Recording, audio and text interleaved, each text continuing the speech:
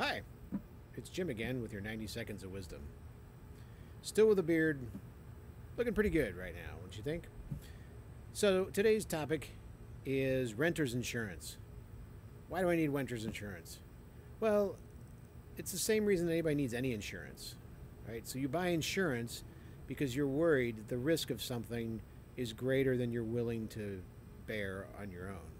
And so think about that if you are a renter. You know, people when they buy houses, they think, "Oh, my house burns down, I'll get a new house. That's why I have homeowners insurance."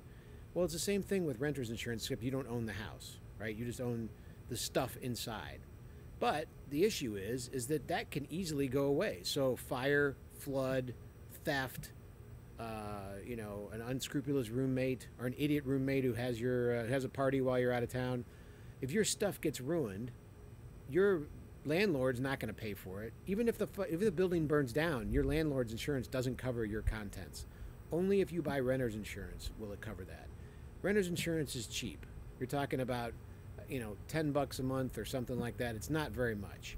And so it's totally worth it to make sure that your stuff, which could include computers, could include clothing, all kinds of things, is covered. So that's why everyone should have either homeowners insurance if you own a home or renter's insurance if you rent. Okay, that's it. Bye.